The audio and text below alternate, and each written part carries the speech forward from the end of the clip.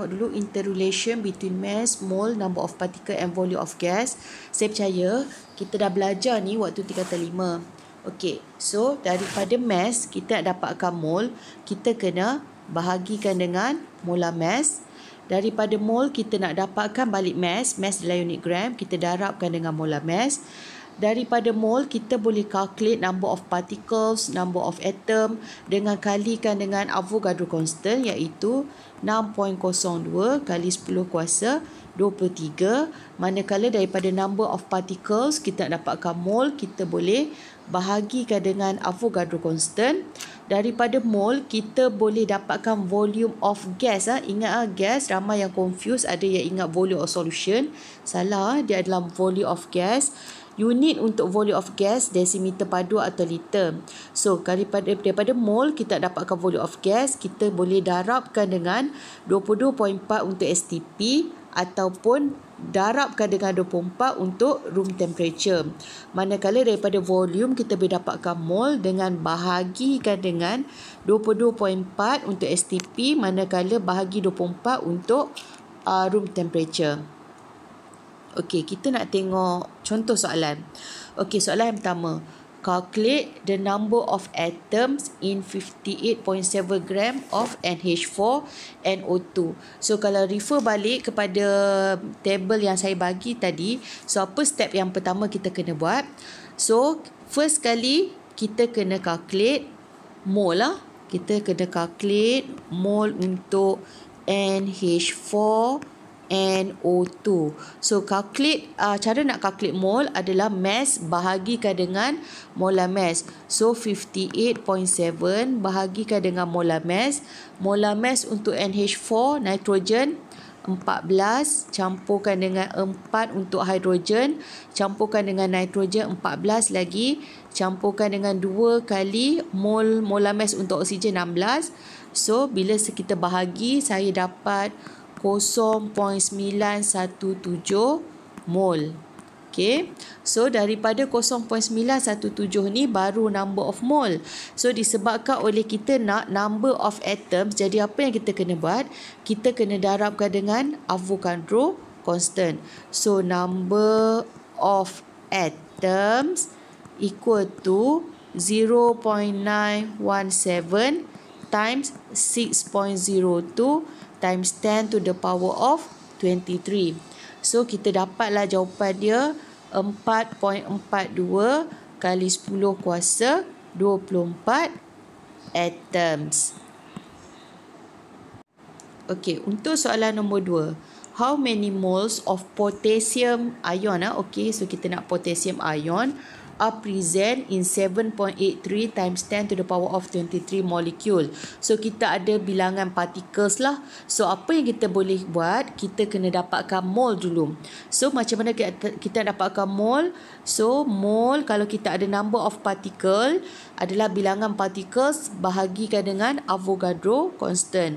So 7.83 times 10 to the power of 23 bahagikan dengan Avogadro constant 6.02 kali 10 kuasa 23 so kita dapat bilangan mol adalah sebanyak 1.30 mol. Okey so dalam K3PO4 okey dalam K3PO4 dia mengandungi 3 mol ion K+ dan juga 1 mol ion PO O4 3 minus. So disebabkan oleh kita nak ion potassium ion saja. So uh, mole of K plus ion equal to 1.3. So disebabkan oleh dalam 1 mole K3PO4 mempunyai 3 mol K+. So kita darabkan dengan 3. So kita dapatlah jawapan dia 3.90 mol.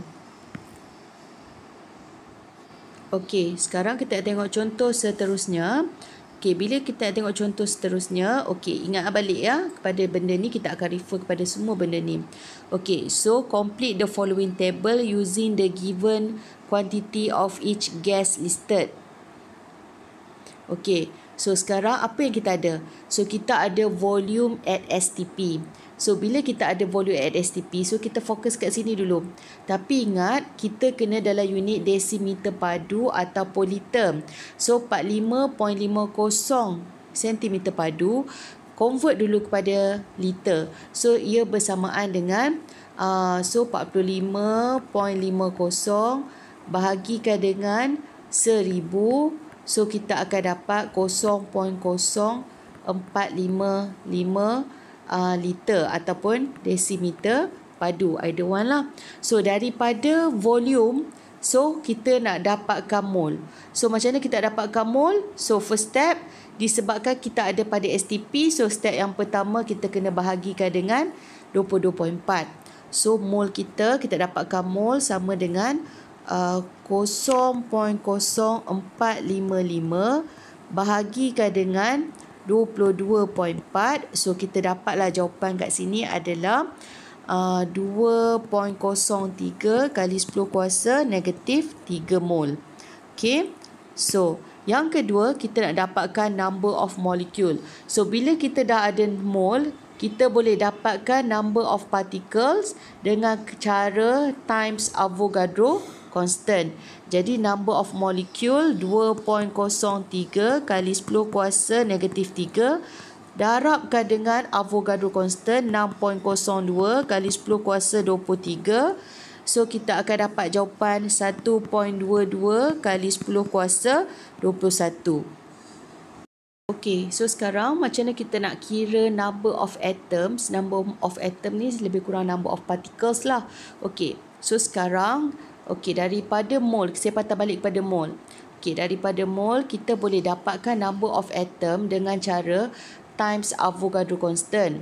So kita dapat 2.03 kali 10 kuasa negatif 3 kalikan dengan 6.02 kali 10 kuasa 23. Tapi kita tak dapat jawapan lagi sebab ini adalah number of molecules. Dalam satu molekul NH3, okey yang ni kita katakan yang ni satu molecules. Okey. So yang ni yang kita panggil number of molecules mempunyai empat atoms. Okey, sebab apa empat atoms? Nitrogen satu campur tiga hidrogen empat atoms. So bila kita nak calculate number of atom, so bilangan mol times Avogadro constant kalikan dengan empat. Sebab apa empat? Sebab ada empat atoms.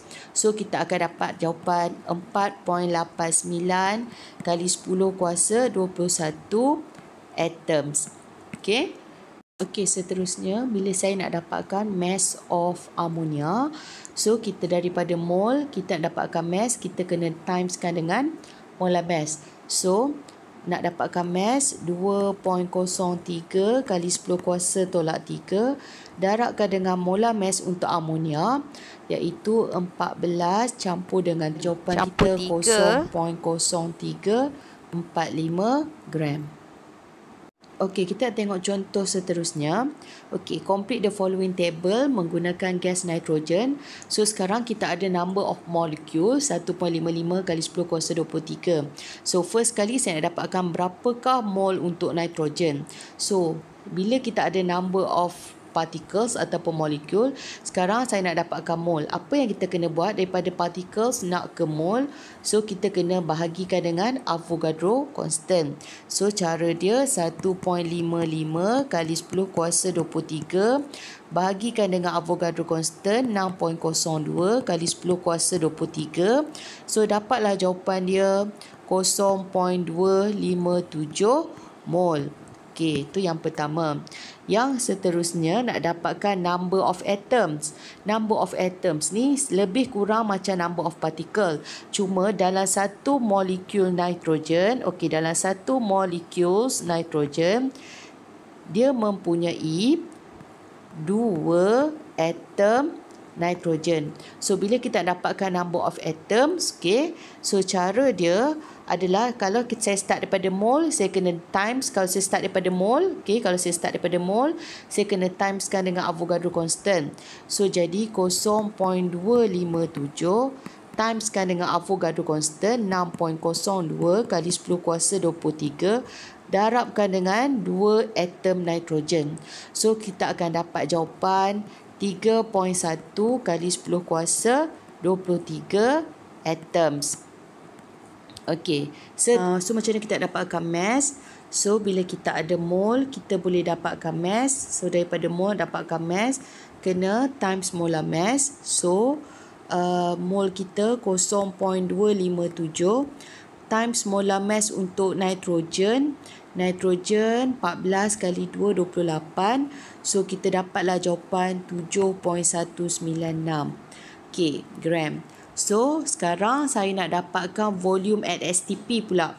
So, daripada mol, kita boleh dapatkan volume pada STP dengan darabkan dengan 22.4. So, mol kita 0.257 darabkan dengan 22.4. So, dapat jawapan 5.757 desimeter padu ataupun liter. So, itu saja. Thank you.